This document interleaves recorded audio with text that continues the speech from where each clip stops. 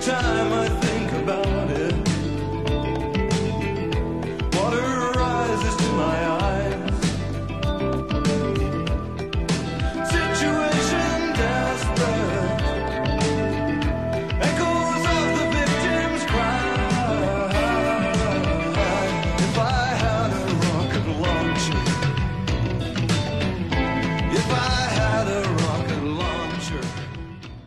Welcome to Reality Asserts Itself on the Real News Network. I'm Paul Jay. That was Bruce Cockburn singing If I Had a Rocket Launcher. Bruce is a prolific Canadian singer songwriter and a guitarist. His lyrics addressed a broad range of topics, including human rights, environmental issues, and politics. Over the course of his 40 year career, Cockburn has written more than 300 songs on 33 albums, 22 of which received a Canadian Gold or Platinum certification. In 2014, Cockburn released his memoirs, Rumors of Glory. He broke through in the United States and around the world with his 1984 song, If I Had a Rocket Launcher, which he wrote after visiting a Guatemalan refugee camp in southern Mexico. Bruce Cockburn now joins us here in San Francisco. Thanks for making time for us. Glad to be able to do it, and thanks for going all this way to make time for me. So, as people who watch Re- Reality Asserts Itself knows, we usually start very biographically off the top, and then kind of get into more what guests think about the issues.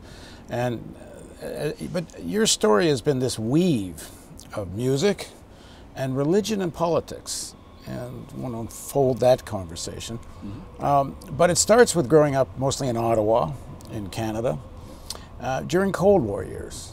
Yes. And uh, talk a little bit about the atmosphere uh, the, around you as you're growing up in, in, the, in the midst of the Canadian version of the Cold War. Yeah, it's interesting because usually when we talk about the Cold War years, we don't say that. We say baby boomers, or we say some some other phrase that indicates the post-war period. But really, uh, you know, I mean, after about 1950, when I kind of was old enough to become aware of my surroundings, um, it really was a Cold War atmosphere. And one of the standout memories I have from that time, and, and of course, when this took place, I had no idea, you know, what would follow it. But uh, I had a teacher in maybe third grade, something like that. I forget if it was second, third, or fourth, or what, but right in that period.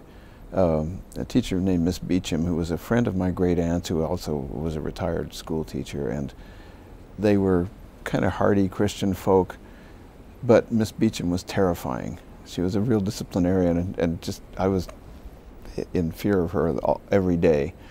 But every morning we had a show and tell kind of current events thing, and you had to bring in a newspaper clipping and talk about it. And uh, somebody brought in a, a, a clipping about student radicals in Turkey demonstrating and rioting. So uh, Ms. Beecham says to us all, "What do you, what is it? What's a radical?" No one knew.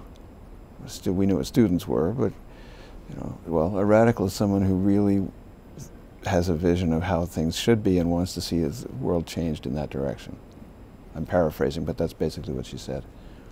And and she said, "I hope you all grow up to be radicals." To our little public school class. Here comes the helicopter. Second time today.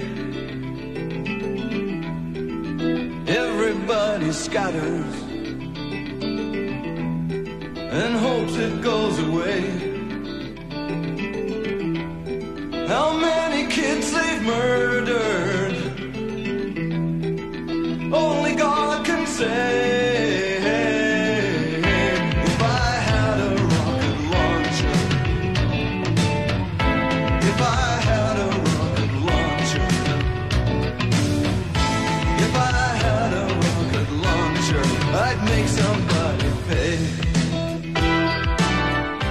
What I got at home was was pretty apolitical. My parents voted liberal uh, by reflex, and because their families always had, and um, because I think they thought that was the right thing. Also, I mean, it wasn't completely unthinking, but uh, you know, we generally approved of liberal things and not so much of conservative things.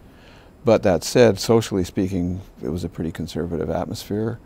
Um, no one talked about sex at the table or any other time, for that matter. Uh, for instance, but it, but uh, you know, and we went to church kind of Seen a lot of things in the world outside. Some bad, but some good stuff too. Felt the touch of love in the works of God. And now and then My dad said later, I, I, I, at one point I remember saying in public that we went to church because it was sort of the conventional thing to do and it was the 50s and people would think ill of us if we didn't, the neighbors and so on. But my dad said, no, that, that wasn't the reason that we went to church. They, he and my mom were actually trying to be good Christians for a while and then it kind of fell away, was how he put it. Well, you, you write in the book, um, ours was a secular household in spite of the exposure we all had to the surface ideals and imagery of Christianity. There was a need to observe the social norms to keep people from calling you a communist. Well, there was that, and and although, like I said, I, I I may have been mistaken in attributing our going to church to that cause.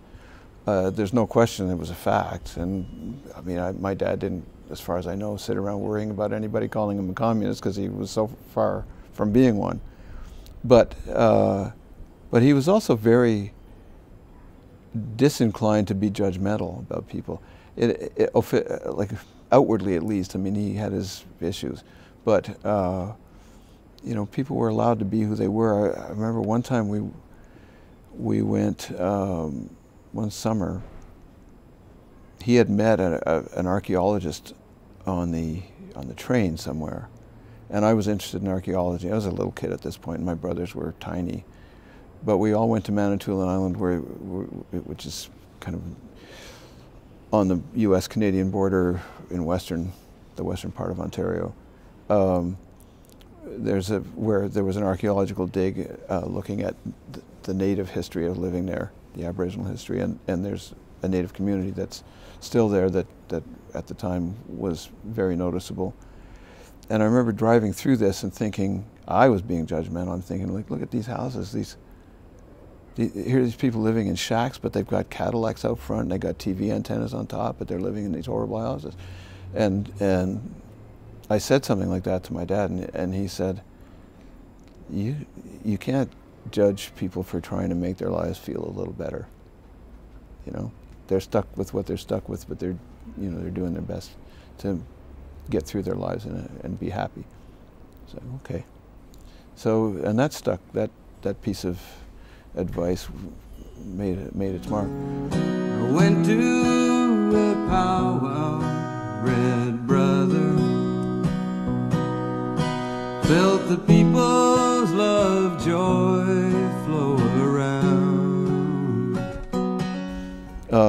so, as a sort of description of my dad, he was a basically socially conservative, politically liberal person, and I think the difference uh, there. I think what what I take from that now, looking back, is that that version of liberalism versus that version, the version that we were we could see of conservatism, was really uh, uh, representative of a less selfish worldview.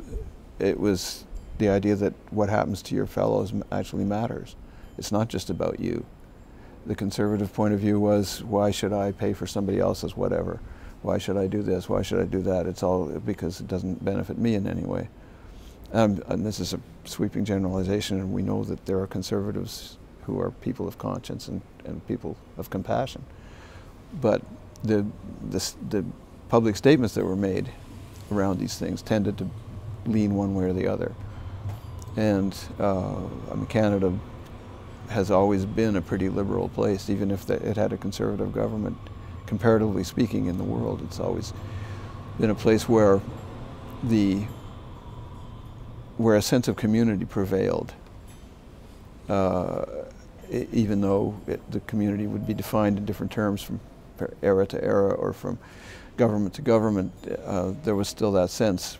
Um, I mean that that's threatened in the whole modern world by various elements. But uh, in contrast to the United States, where I think that sense of community has it, it comes and goes. It's not always here. Right now, it's not. It's